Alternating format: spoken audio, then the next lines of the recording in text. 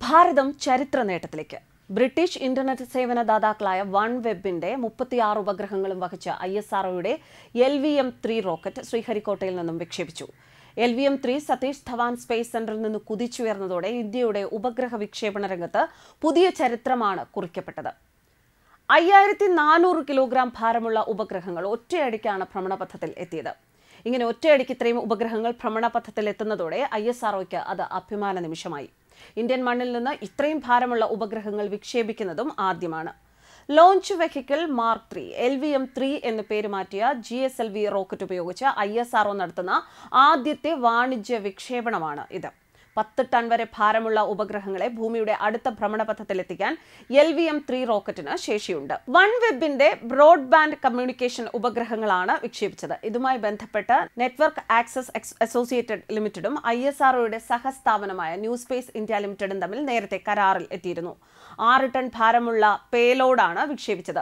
രണ്ടായിരത്തി ഇരുപത്തിമൂന്ന് ജനുവരിയിൽ വൺ വെബിന്റെ മുപ്പത്തിയാറ് ഉപഗ്രഹങ്ങൾ കൂടി വിക്ഷേപിക്കും. ഇന്ത്യയുടെ ഭാരതി ഗ്ലോബലും യു കെ സർക്കാരും സംയോജിച്ചുള്ള സംരംഭമാണ് വൺ വെബ്. അറുന്നൂറ്റി അൻപത് ഉപഗ്രഹങ്ങൾ ലോ എർത്ത് ഓർബിറ്റിൽ വിക്ഷേപിക്കുകയും അവയുടെ പിൻബലത്തിൽ ഉപഗ്രഹ ഇന്റർനെറ്റ് സേവനം എത്തിക്കുകയുമാണ് കമ്പനിയുടെ ലക്ഷ്യം. വേഗത കൂടിയതും തടസ്സവും പ്രതികരണ സമയം കുറഞ്ഞതുമായ ബ്രോഡ്ബാൻഡ് സേവനം ബഹിരാകാശത്ത് നിന്ന് നൽകുന്ന സേവനമാണ് വൺ വെബ് ഇതിലൂടെ ലക്ഷ്യമിടുന്നത്. സേവനമാണ് വൺ വെബ് ഇതിലൂടെ ലക്ഷ്യമിടുന്നത്. പദ്ധതി യാഥാർത്ഥ്യമാകുന്നതോടെ ഇന്ത്യയിലെ വിവിധ ഭാഗങ്ങളിൽ ബ്രോഡ്ബാൻഡ് ഇന്റർനെറ്റ് സേവനം ലഭ്യമാകും. ഏറ്റവും ബുദ്ധിമുട്ടേറിയ ഇടങ്ങളിൽ വൺ വെബ് ബ്രോഡ്ബാൻഡ് സേവനം ലഭ്യമാക്കും എന്നും ഇത് ഇന്ത്യയിൽ ഉടനീളമുള്ള ഡിജിറ്റൽ അന്തരം കുറയ്ക്കുമെന്നുമാണ് കമ്പനി പറഞ്ഞിരുന്ന വാഗ്ദാനം. Launch vehicle mark three L V M എന്ന പേര് മാറ്റിയ ജി എസ് എൽ വി ഉപയോഗിച്ചുള്ള ഐ എസ് ആർഒയുടെ ആദ്യ വാണിജ്യ വിക്ഷേപണമാണ് ഇരുപത്തിമൂന്നിന് നടന്നത്. ശ്രീഹരിക്കോട്ടയിലെ സതീഷ് ധവാൻ സ്പേസ് സെന്ററിൽ നിന്ന് ഏഴ് മണിക്കാണ് വിക്ഷേപണം നടന്നത്. ഇത് ആദ്യമായാണ് ഇത്രയും ഭാരമേറിയ ഉപഗ്രഹം ഇന്ത്യ വിക്ഷേപിച്ചത്. വാണിജ്യാടിസ്ഥാനത്തിൽ ഉപഗ്രഹങ്ങൾ വിക്ഷേപിക്കാൻ ഐ എസ് ആർഒ ഇതുവരെ ഉപയോഗിച്ചിരുന്നത് പി എസ് എൽ വി റോക്കറ്റുകളാണ്. വൺ വെബ് ഐ എസ് ആർഒയുടെ വാണിജ്യ വിഭാഗമായ ന്യൂ സ്പേസ് ഇന്ത്യ ലിമിറ്റഡുമായി കൈകോർത്താണ് ഈ വിക്ഷേപണം സാധ്യമാക്കിയത്. കമ്പനിയുടെ പതിനാലാമത് ലോഞ്ചാണ് ഇത്.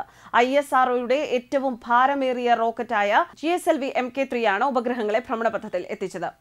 ഇന്ത്യയിൽ ഇന്റർനെറ്റ് എത്തിയിട്ട് മുപ്പത്തിയാറ് വർഷം. സാധാരണക്കാർക്ക് ഇത് കിട്ടിത്തുടങ്ങിയിട്ട് ഇരുപത്തിയേഴ് വർഷങ്ങളെ ആയിട്ടുള്ളൂ. ആയിരത്തി തൊള്ളായിരത്തി എൺപത്തി ആറിൽ ഗവേഷണം തന്ത്രപ്രധാന മേഖലകൾ എന്നിങ്ങനെ ഇന്റർനെറ്റ് ഉപയോഗം വളരെ പരിമിതമാക്കപ്പെട്ട നിലയിലായിരുന്നു. ആയിരത്തി തൊള്ളായിരത്തി തൊണ്ണൂറ്റിയഞ്ച് ഓഗസ്റ്റ് പതിനഞ്ചിനാണ് ഇന്ത്യയിൽ ഇന്റർനെറ്റ് പൊതു ഉപയോഗത്തിനായി അനുവദിക്കപ്പെട്ടത്. വിദേശ സഞ്ചാർ നിഗം ലിമിറ്റഡ് അഥവാ വി എസ് എൻ എൽ എന്ന സർക്കാർ സ്ഥാപനം മാത്രമാണ് ആദ്യകാലത്ത് ഇന്ത്യയിൽ ഇന്റർനെറ്റ് സേവനം നൽകിയിരുന്നത്. ലോകത്തെമ്പാടും എന്ന പോലെ ഇന്ത്യയിലും വളരെ വേഗത കുറഞ്ഞ ഇന്റർനെറ്റ് സംവിധാനമാണ് അന്ന് ഉണ്ടായിരുന്നത്. ഇന്ന് പല സർവീസ് പ്രൊവൈഡർമാരാണ് ഇന്ത്യയിലുള്ളത്. സ്വകാര്യ മേഖലയിലാണ് സർവീസ് പ്രൊവൈഡർമാർ കൂടുതലായും ഉള്ളത്. ആയിരത്തി തൊള്ളായിരത്തി തൊണ്ണൂറ്റിയഞ്ചിൽ ഇതിന് ഈടാക്കിയിരുന്നത് വൻ തുകയാണ് ഒരു മാസത്തേക്ക് അല്ലെങ്കിൽ മണിക്കൂറിലേക്ക് ഇരുന്നൂറ്റി അൻപത് മണിക്കൂറിലേക്കാണ് ഈടാക്കിയിരുന്നത്. അയ്യായിരം രൂപയാണ് ഈടാക്കിയിരുന്നത്.